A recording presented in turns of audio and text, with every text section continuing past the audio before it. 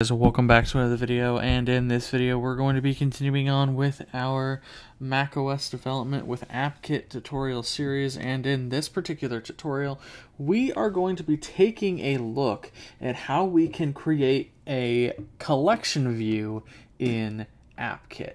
Now there are a few things that we need to understand before we can actually begin writing code to uh, provide uh, the implementation of our collection view. So, first, what is a collection view?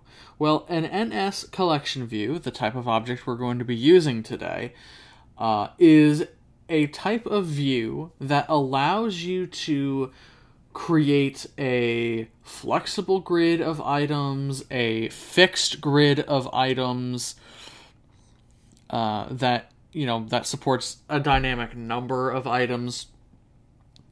And then there's a uh, then they also support various other kinds of layouts that you can specify or through the built-in compositional layout for a collection view. Um, the next concept that we need to understand is ns collection view layout now, what is an NS collection view layout? Well, NS collection view layout is the base class for any layout for a collection view. Uh, now, you generally do not create objects for NS collection view layout on its own. You need to create objects of classes that in that inherit from uh, collection view layout. Now those those different kinds of layouts I described when talking about collection view, let's kind of go over those. Uh, the first one being NS collection view flow layout. Now this kind of creates a flexible grid um, for your collection view, right? So if you make your window bigger or you make it smaller, the amount of items in the row or column, depending on the layout's scroll direction, uh, changes, and those changes get get animated. So you can see uh, the collection view make those changes uh, on the fly. Now, the NS collection view grid layout, what this layout does is it allows you to be a little bit more specific on how many, for example, columns or rows you want in your collection view. So if you want your collection view to only have two rows in a horizontally scrolling collection view, you can do that. If you want your uh, collection view to have only five columns that take up a, a certain amount of space in the in the view, you can do that too. Um, so with that, we then also have compositional layouts. Now, NS Collection View compositional layout or composition layout um, what they do is it allows you to be a little bit more expressive in what kind of layout you specify for a collection view. Uh, this could be, for example, maybe you want a view in your app that displays pictures as if it was a pile of pictures on a desktop or something, like a physical desktop then you could do that. Uh, you could do that with a compositional layout.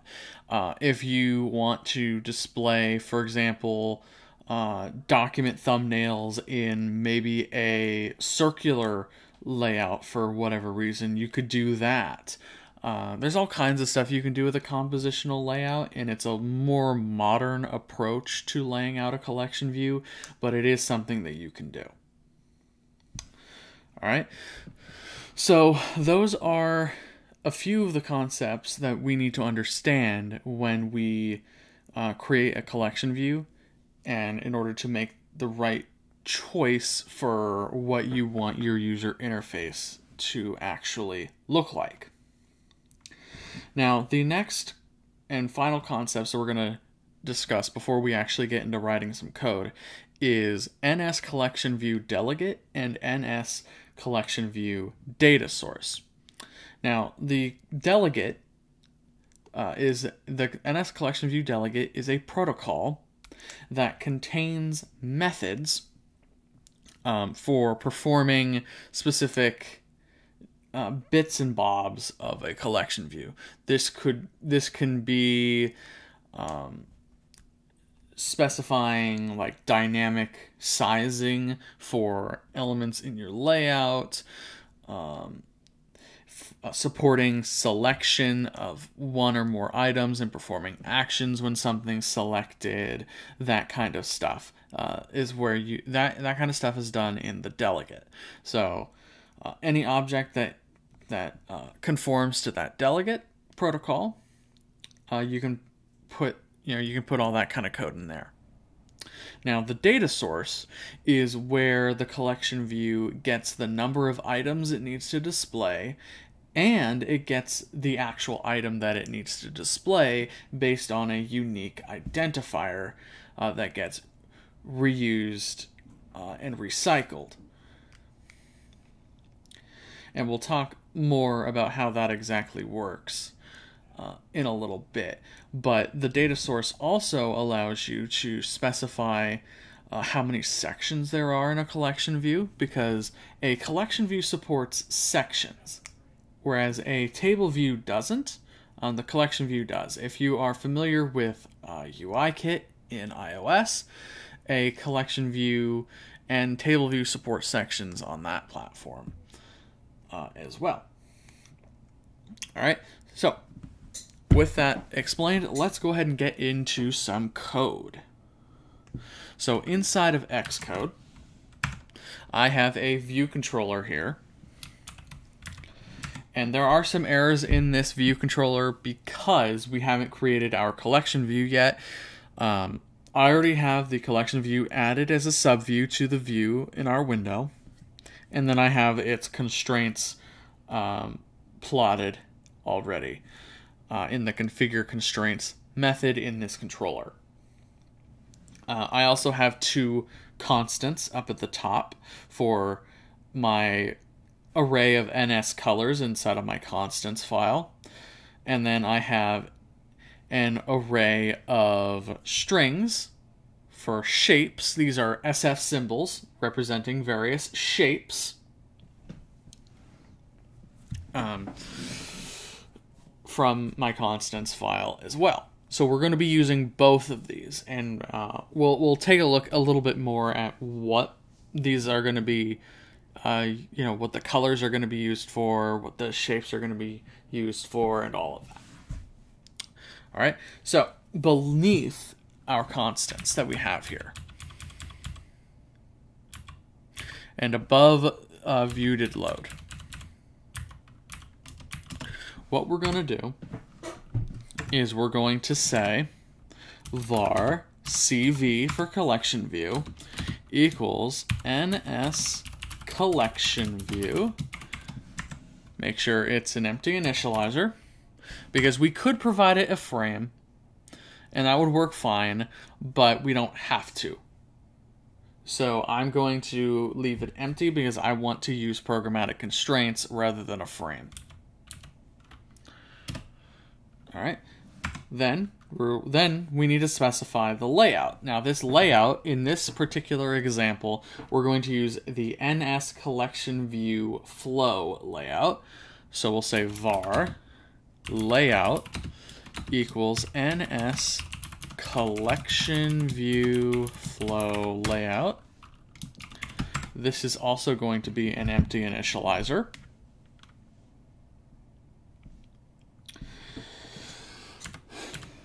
And for good measure, I'm also going to create another variable. This variable is going to be called size, and it's going to be of type ns size. Now, this variable is going to be used to specify the size of our collection view items. So we'll say var, uh, I'll just do that, var size equals ns size with a width of, let's say, 120 and a height of 120.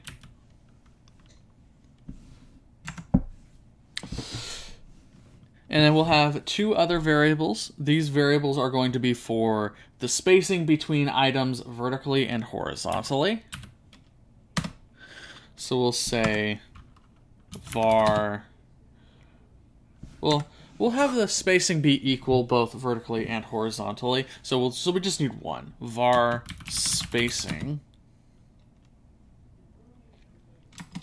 And this is going to be a CG float. So CG float equals, let's say, 10. Now, the reason why we have to explicitly specify CG float is because if I just said 10, it would interpret it as an integer uh, using the type inference. Uh, if I said 10.0, it would interpret it as a double uh, with its type inference. So I have to explicitly tell it hey, this is going to be a CG float. All right, so we can save this. And we can uh, we can continue on. I need to first remove something from my from the definition here.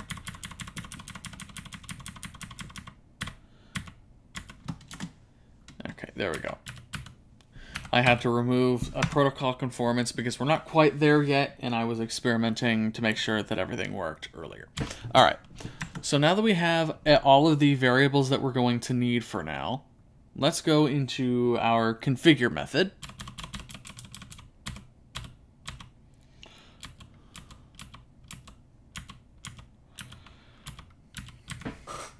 And in here, we'll say layout dot item size equals size layout dot uh, minimum line spacing is equal to spacing.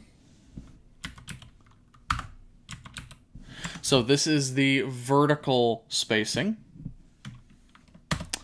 And then layout dot minimum inter item spacing. This is the horizontal spacing equals spacing, like that.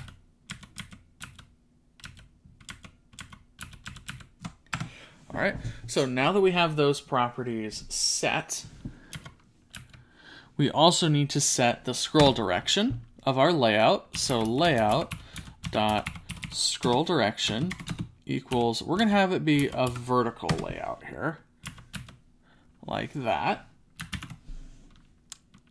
Perfect.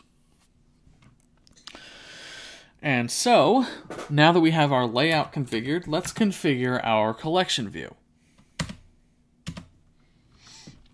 We'll say cv dot data source equals self, and we will uh, we'll make this work in a second because we're going to get an error saying, "Oh, view controller can't uh, can't be used for the data source because it's not it doesn't conform to that uh, protocol all that. But we'll we'll do some we'll do something about that here in a second. Next we need to set the collection views layout. So we'll say cv dot collection view layout equals layout. Like that. Cv dot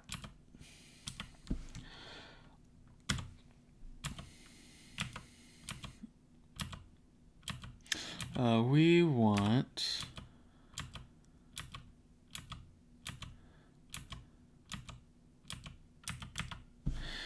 now is selectable. We'll say is selectable equals false because we don't want we don't want the user to be able to select items in our collection view for now.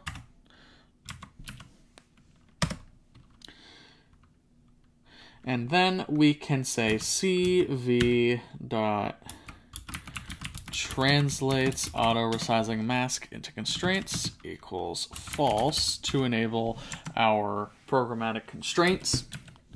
And then there is one last thing that we need to do with our collection view, and that is register a cell, or not, not a cell, but an item for our collection view that we can use inside of it. And so we'll create a custom item in this video, but you can use a just a normal NS collection view item in the, uh, for this if you want. Uh, we'll cover a little bit more about NS collection view item as we go forward, but for now, what I want you to do is we'll do cv.register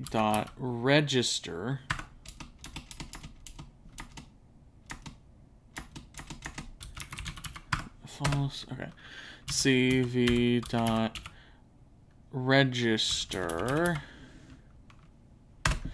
and here we'll say shape item dot self. Now we don't have a shape item class yet, uh, and we'll create that in a moment. Next, we need to give it a reuse identifier, which is of type NS user interface item identifier, just like the identifiers for a column and a cell in an NS table NS table view. So we'll say n actually we can just say uh, shape item dot identifier because we'll create a static property in that class for the identifier.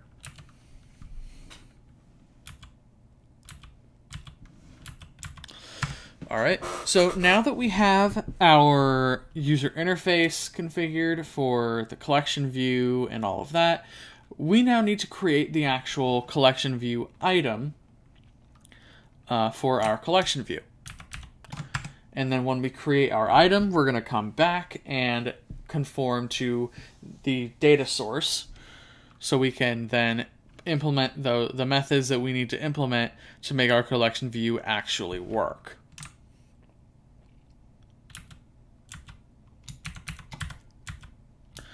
So, excuse me, we'll go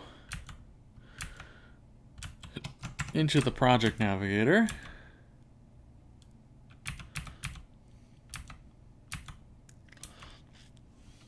Go to our target here, our targets group rather.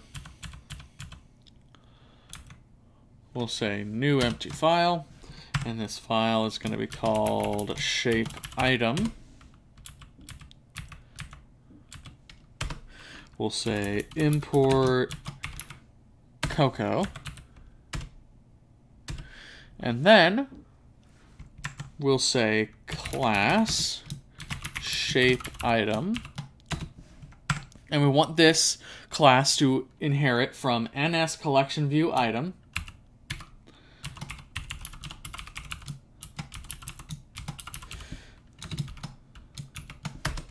Now, when we create this custom item, one thing to keep in mind is that NS collection view item is itself a subclass of NS view controller. So all of our collection view items are technically view controllers. Whereas in UIKit, our collection view items, our collection view cells would be uh, UI views. These are full on view controllers. All right. So first things first, create. We need to create our static constant for the identifier. So we'll say static, uh, static let identifier equals ns user interface item identifier with a raw value of shape underscore item like that. Perfect. Next, we are going to create an initializer. This initializer is going to contain uh, one property, and this property is going to be the name of the of the shape that we want to use. So we can say uh, first private var image view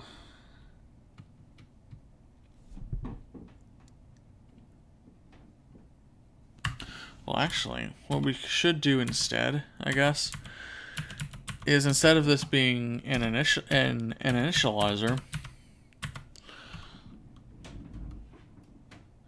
uh, so we can just leave out the initializer. We can just create those uh, private variables for our. Um, we can create private variables for our user interface components of our item. So private var shape equals ns image view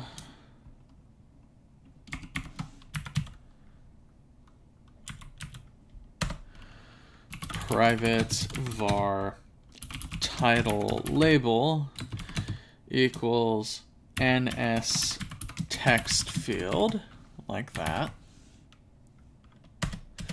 Then we can override func view did load super view did load and then we'll have configure like that. We'll configure the user interface with private func configure.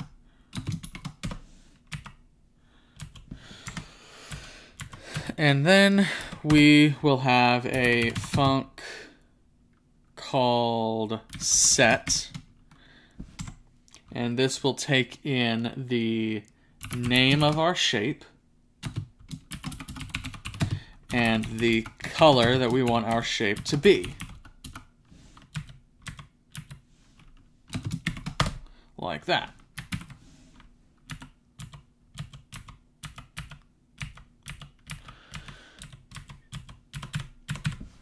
And so in here, we need to configure some stuff for our title label and for our uh, shape image view.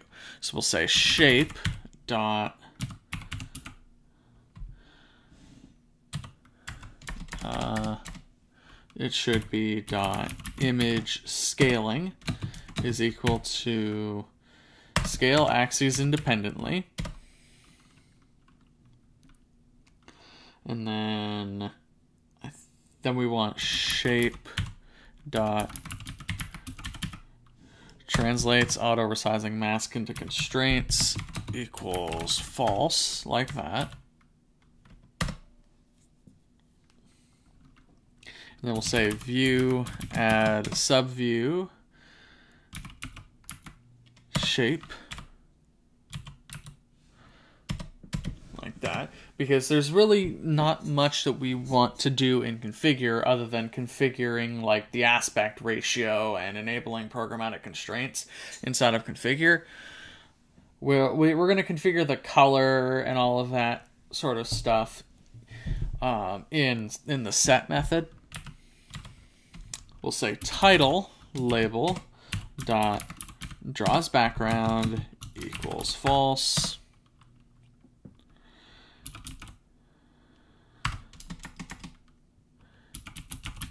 Title label dot is bezeled equals false. Title label dot is bordered equals false title label dot is editable equals false and title label dot is selectable equals false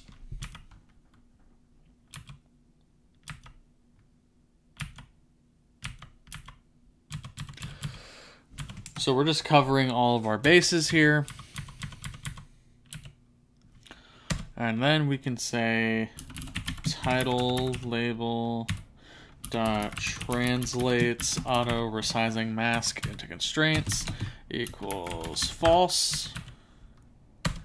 and view dot add subview title label like that. Perfect. Inside of our set method, then, uh, what we're going to do when uh, after we set up our constraints is we're going to set up the string value of our title label, and then we're going to set the color of the text for our title label as well.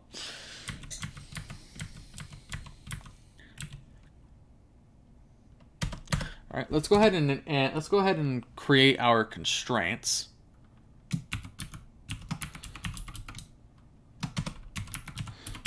Activate. So ns layout constraint dot activate.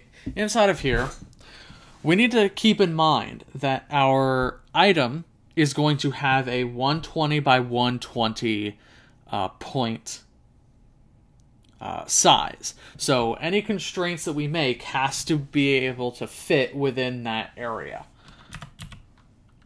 So we'll say shape dot top anchor dot constraint is equal to view top anchor. So it'll be flush with the top of our collection view item.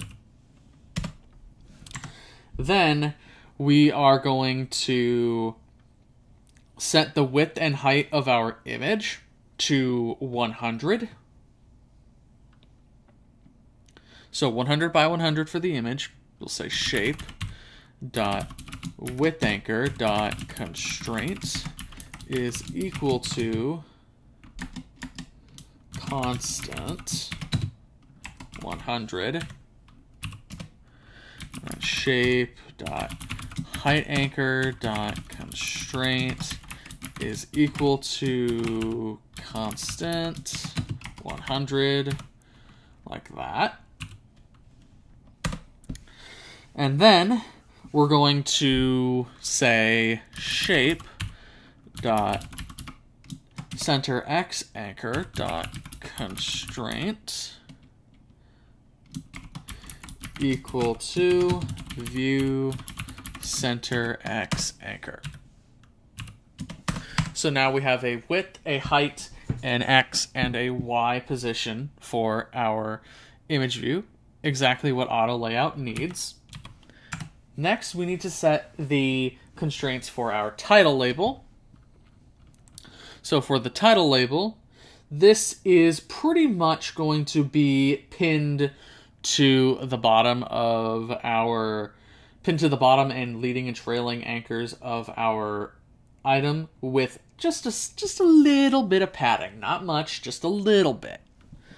So we'll say title label dot bottom anchor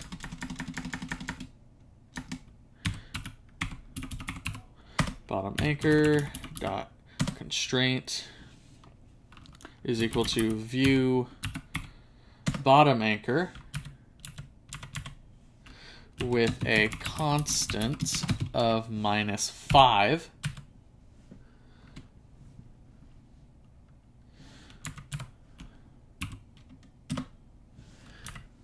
All right. Then we're going to say title label dot leading anchor dot constraint is going to be equal to view leading anchor with a constant of 5.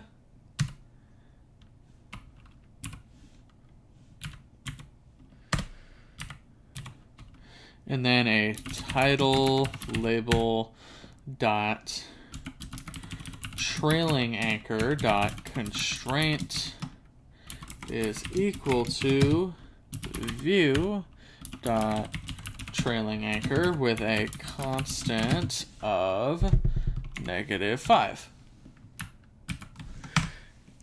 So, like I said, just a little bit of padding, not a whole lot, just a little bit. And that is the layout for our collection view item. We have an image and we have a title label. This is this is a very common UI pattern for collection views, especially in, uh, for example, say you have a, say you have an application where you're managing uh, book bucket lists or, uh, or, or some kind of ebook library app. You're a lot of the time going to want to have an image that represents the cover and say a title for the book and maybe a rating right? Or or an author or or all of the above uh, in your collection view cell. So something like this is extremely useful. All right? So now that we have our collection view item let's quickly uh, go over how we can actually make our collection view work with a data source. So the first thing that we need to do is we need to actually conform to that protocol of NS collection view data source.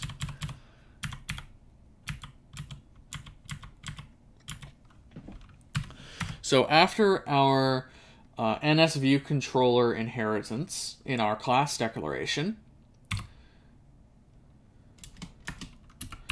we need a comma and then ns collection view data source.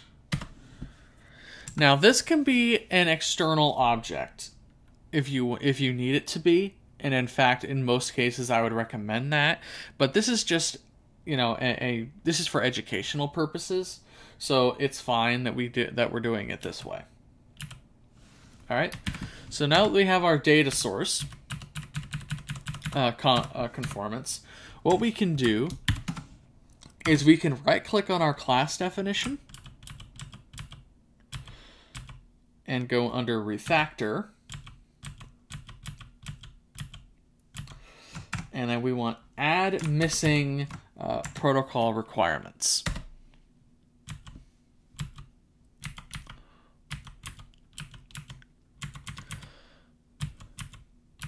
And one of the more annoying things that Xcode will do here is it will put your uh, method stubs at the top of your class instead of at the bottom. So I'm just going to cut these.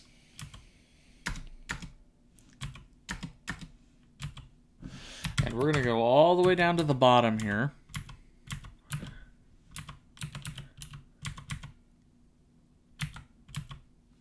and we'll paste these in here.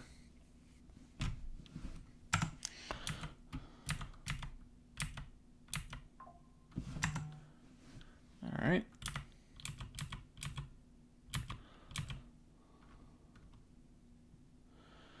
All right. And then for number of items in section, we're going to return an integer for how many items we want in our collection view. So we'll say return shapes dot count.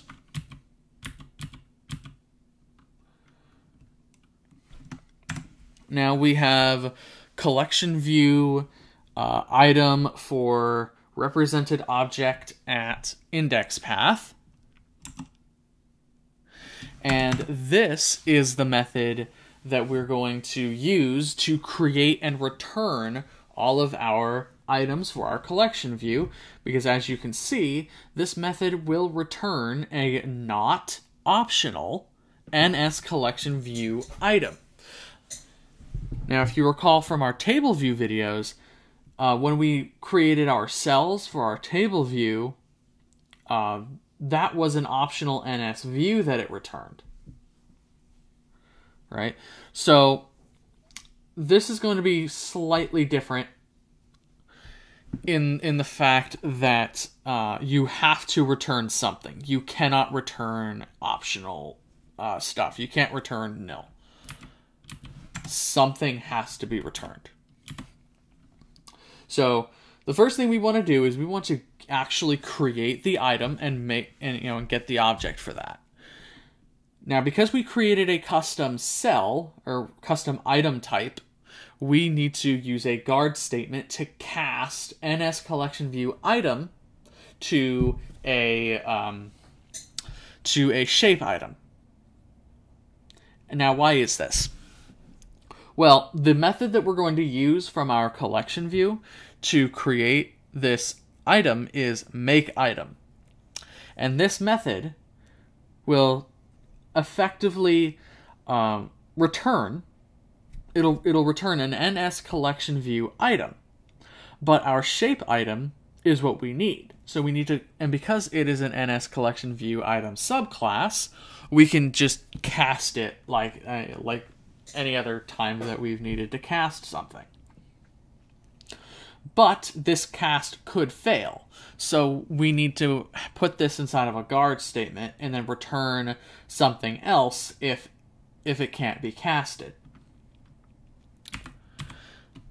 So, inside of this method, the first thing we'll do is we'll say guard let item equals collection view dot make item with identifier shape item dot identifier for index path as question mark shape item else we will return a we'll create well we'll return just a blank ns collection view item. So ns collection view item like that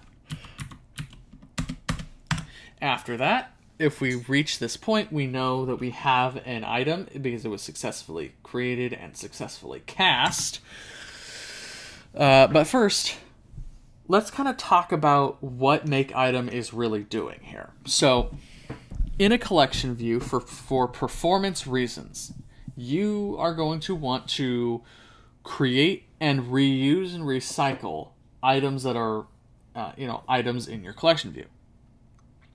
So you're not having to create new objects every time, not having to create more space in memory and all of that.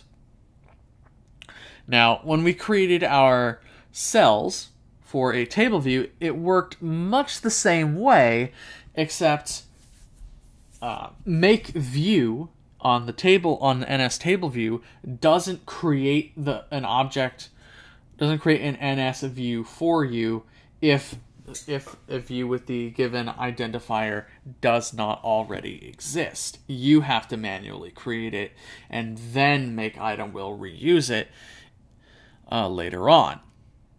Make item combines both of those steps in one method call, so you don't have to create the item manually. Now with this item, we'll say item.set and we can give it a name and a color. And we'll and we will populate this method here uh, in a moment. But we need to say shapes.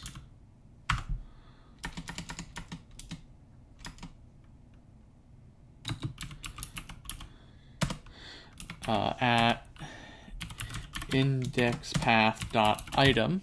So the index of the item that we're uh, working with. All right so now we have that as our little string there. As for the color, we have something slightly different that we can that we're gonna do here. We're gonna create a, we're gonna generate a random color from our colors array uh, by doing the following: colors int dot random zero dot dot less than colors dot count. And there we go. Now we have a random color that is going to be assigned to our image view and the title label of our item. Last thing we need to do is return item. All right.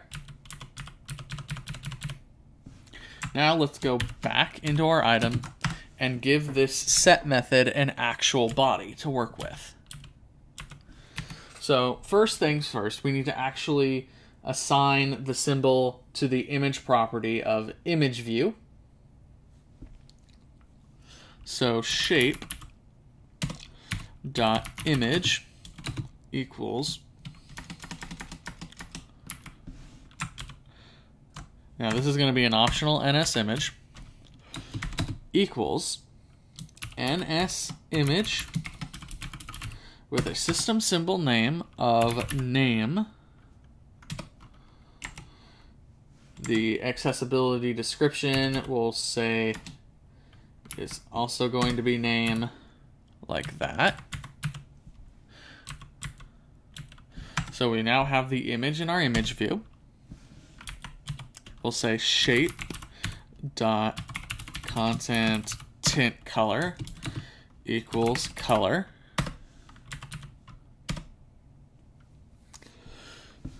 And then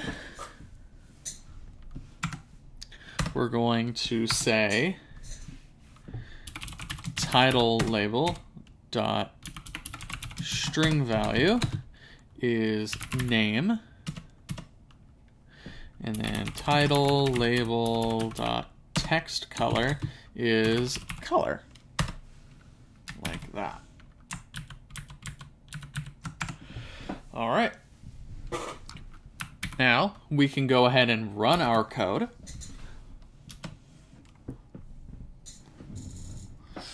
We get a successful build.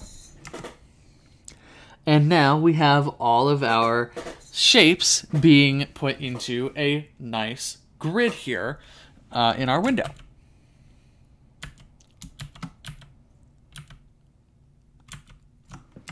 All right. And you can see the shapes are all different random colors. The text labels for those shapes uh, inside of our items are also the same color. Uh, if we go outside of our collection view here and we tell our window to, for example, fill, because our window expanded, there's more space, and so uh, our collection view animates changes to the layout to make sure that uh, the items move around accordingly to fix uh, to fill that space. All right, so that pretty much does it for this video, guys. Thank you all so very much for watching, and we will see you all in the next video.